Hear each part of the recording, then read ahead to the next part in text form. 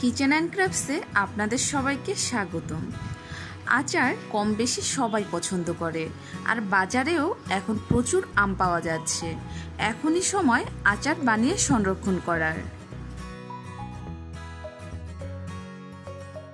Kitchen and ক্রাফটসের আজকের পর্বে আপনাদের জন্য থাকছে কাঁচা আমের ঝাল আচার রেসিপি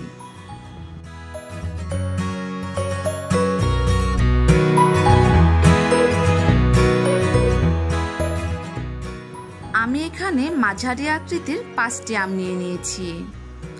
আমগুলো ভালোভাবে ধুয়ে নিতে হবে, কারণ আমের খোসার গায়ে অনেক ময়লা থাকে। এবার আমের বোটা কেটে ফেলে দিতে হবে। আমটা খোসাসহ লম্বাটে চার টুকরো করে এবং আড়াআড়িভাবে টুকরো করে নিতে হবে। এই সাইজের একটি আম দিয়ে আট টুকরা করতে হবে। এবার আমগুলোতে এক টেবিল চামচ লবণ দিয়ে দিলাম। এখন পর্যাপ্ত পানি দিয়ে ভিজিয়ে রাখব দশ মিনিটের জন্য।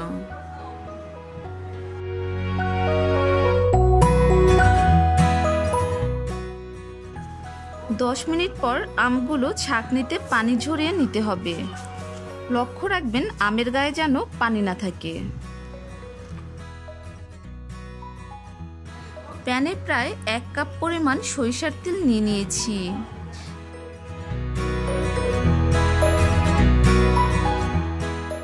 তেলটি যখন গরম হবে, তখন দিয়ে দেব এক টেবিল চামচ রসুন বাটা।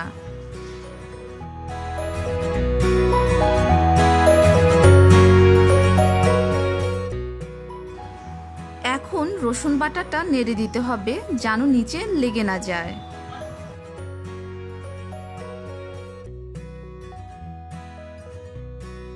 এবার দিয়ে দিচ্ছি হাফ কাপ পরিমাণ গুড়। আমি এখানে আখের গুড়টা ব্যবহার করেছি। এখন একটু নেড়ে দিয়ে দিয়ে দেব কাটা আমগুলো।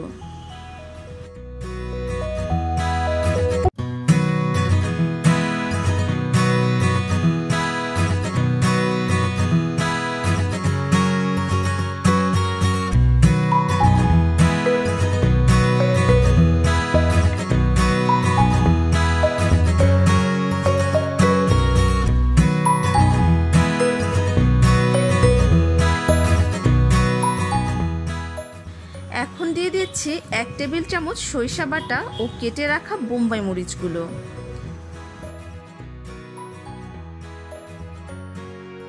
আমি এখানে তিনটি বোম্বাই মরিচের বিচি ফেলে কেটে নিয়েছি। আচার খাওয়ার সময় যখন বিচিটা মুখে পড়বে তখন কিন্তু মোটেও ভালো লাগবে না। তাই আমি বিচিটা ফেলে নিয়েছি। বোম্বাই মরিচে কিন্তু প্রচুর পরিমাণে ঝাল হয়ে থাকে। তাই আপনারা কতটুকু ঝাল খেতে পারবেন তা বুঝে দিবেন। এখন নেড়ে সবকিছু মিশিয়ে দিতে হবে।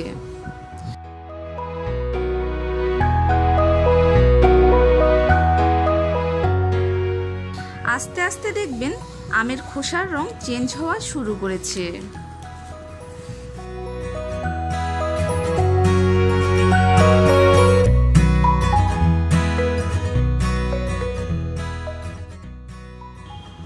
এবার দিয়ে দিচ্ছি হাফ চা চামচ লবণ। নেড়ে সব কিছু মিশিয়ে দিতে হবে। দেখতে হবে যাতে লেগে না যায়।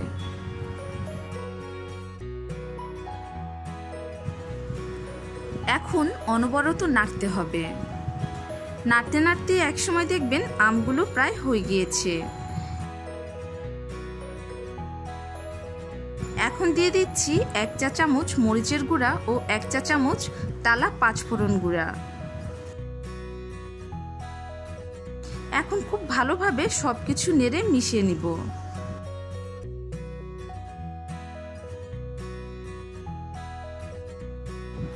আমের ঝাল আচারটা মিডিয়াম আঁচে করতে প্রায় তিরিশ থেকে পঁয়ত্রিশ মিনিটের মতো সময় লাগে।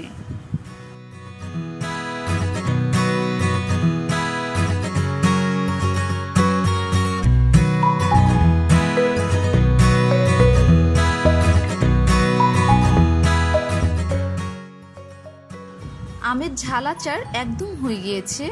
আচারটি ভালোভাবে ঠান্ডা করে একটি কাচের বয়মে সংরক্ষণ করতে হবে।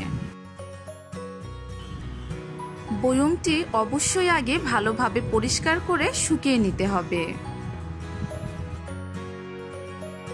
এই আচার এক দুই বছর সংরক্ষণ করে খেতে পারবেন। তবে যখন আমের আচার তুলবেন, তখন শুকনো চামচ দিয়ে তুলবেন। কখনই হাত দিয়ে তুলবেন না। তাহলে কিন্তু আচারটা নষ্ট হয়ে যেতে পারে। আমার চ্যানেলে নতুন হয়ে থাকলে অবশ্যই সাবস্ক্রাইব করতে ভুলবেন না। লাইক, শেয়ার ও কমেন্ট করে পাশে থাকবেন। সুস্থ থাকবেন, ভালো থাকবেন।